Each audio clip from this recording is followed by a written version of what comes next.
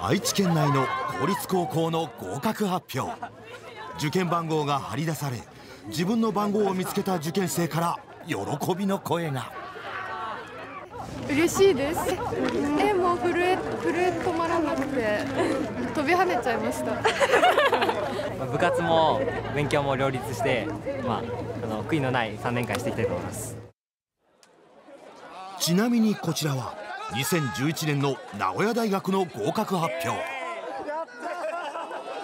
こういうところ同じですよね。これとこれ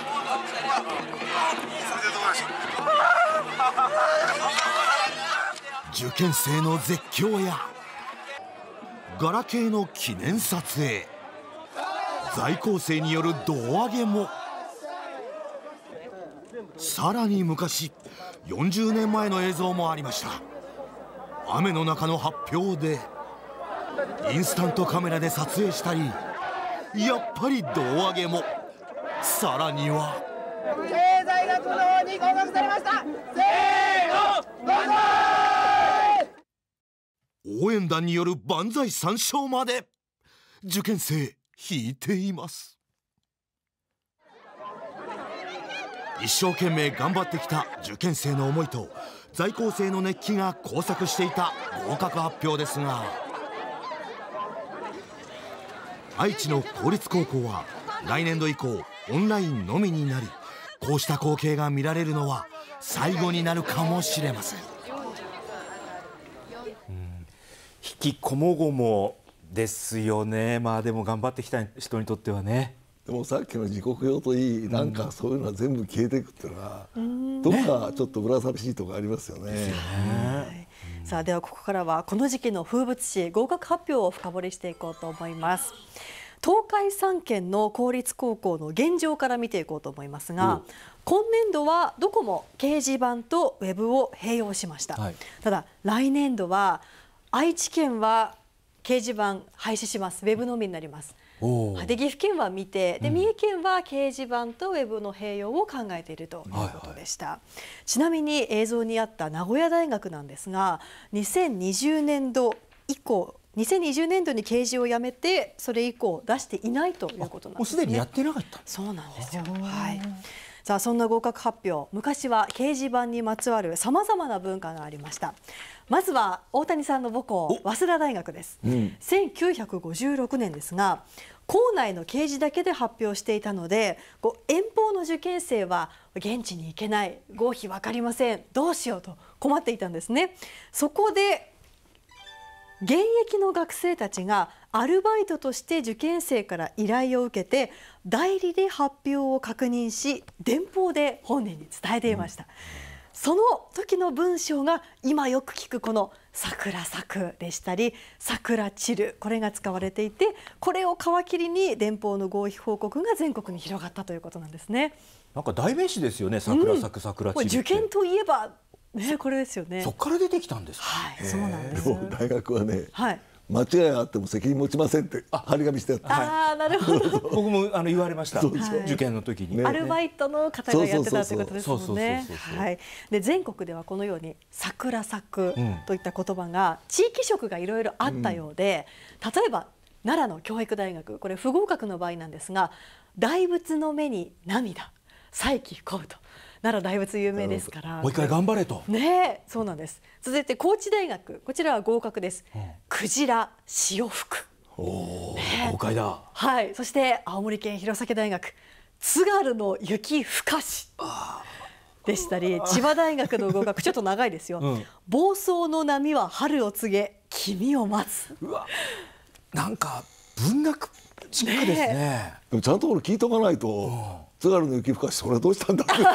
受かってるの？これどっちだ？っ てちょっと小説のようなね感じもしますけれども、ね、さすが大学生のインテリジェンスっていうそうですね感じがしますよね。ねはい。面白い。さあそして東海テレビに残っている一番古い合格発表の映像では今ではちょっと考えられないようなものが映っていました。こちらです。こちらは1961年に放送された番組の映像そこには番号に加えフルネームが掲載されていました。この掲示板を学生や親御さんが見つめる姿が残っていました。はい、もう個人情報あったもんじゃないですね。ね実名での合格発表がされていたということです。ちなみに東京大学東大でも名前を掲載していましたので週刊誌がこぞって氏名一覧を速報していた、さらにアンビルさん、はい。ラジオ番組でええ。氏名の読み上げしてたんですって、はあ、僕が入社するちょっと前まで株価を読み上げるってのやってたみたいですけど、はい。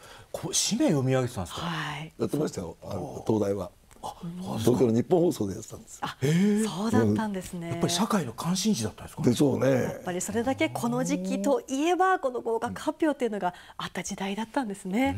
はい。でこの合格発表について教育工学が専門の国際大学グローコム豊福准教授に聞いてみました。掲示板から始まってさまざまな形態が出ています。もう今では受験番号とパスワードで合否を表示するといったオンラインが主流になりました。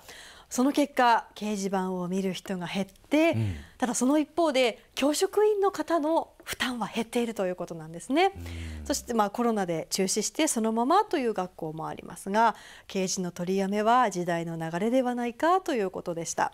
で今回取材した明和高校に聞いてみました。え合否データを掲示板に記すときにはやはり間違いがないか何度もチェックをするそうですのでかなり神経を使いますということでした。でしょうねねえ間違っていたらねダメですからね。そして当日は交通整備なども行うということでやはり負担はあるそうですね。車で来る人もいるかもしれないし、はいマスコミも来るしいやそうなんですよね。まあ確かにあの負担の軽減というのはあるかもしれませんが、この合否の発表直接関わってくる子どもたち正直どう思っているのでしょうか？昨日聞いてきました。向かったのは名古屋市千種区にあるサナル予備校来年受験する中学2年生に合格発表を掲示板で見たいのかそれとも別になのか聞いてみました。やっぱ掲示板で見たいですか？見たいです。その場に行ってみんなと自分の番号を探すっていうのがその受験の独特な空気を楽しめていいなって思うからです。受験のドラマとかでたくさん壁に番号が書いてあって見るのがすごい憧れっていうのと落ちてても友達が周りにいたらなんか慰めてくれそうです。せっかく人生で何何回か数回しかない経験だから全然面倒くさいとは思わないです。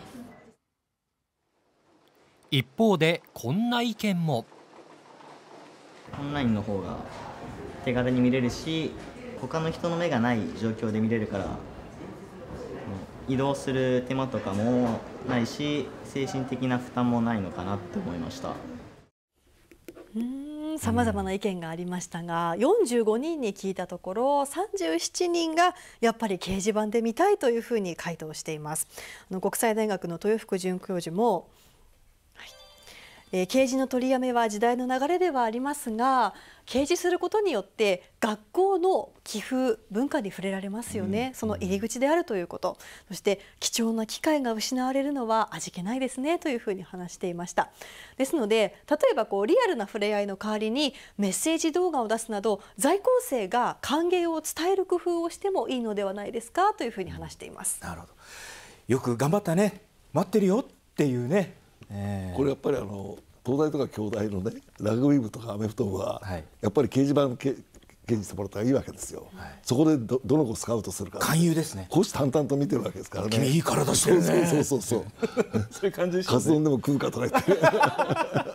いやあの大谷さんあ高校で早稲田の高校でしたね。そうですね。あの、はい。私だから大学受験の掲示板は見てないんですよ、ええ付属高校でしたから、のその時はやっぱり張り出しだったんですけどね。万歳とか万歳してなかった気がしますけどね。僕僕個人の話なんですけど、高校受験の時に、えー、と歩いて行ったら受験の発表を見た友達受験番号つながりなんですよ、えで帰り際に「あアミル受かってたよ」って言えー見る前から分かっちゃってて。ネタバレされちゃったんですネタバレ。でもう一回あの掲示板がない場合やったーってやりましたね。なるほどね。うんね。まあでも引きこもごもね。またそういうシーンってなんかあった方がいいような気もするんですけどね。ひょっとするとあの両方にしようってとこやっぱり出てくるんじゃないかなって気がしますけどね。うんねはい。あれ柴田さんは？私はあの最後にちゃんと受験をしたのが小学校なんですね。はい、小学校受験の時に私は父が学校に取りに行って、はあ、先生からこう1対1で封筒を渡されると。で薄かったら不合格。うん厚みがあったら合格あの資料が入ってますから。で、ね、父は多分これ厚いから合格だろうと思って封を切ったというふうに話してました。合格の時の封筒ってのは分厚いのよね、ね、はい、はい、ぜひあの今ご覧の受験生の皆さん吉報が届くことをお祈りしております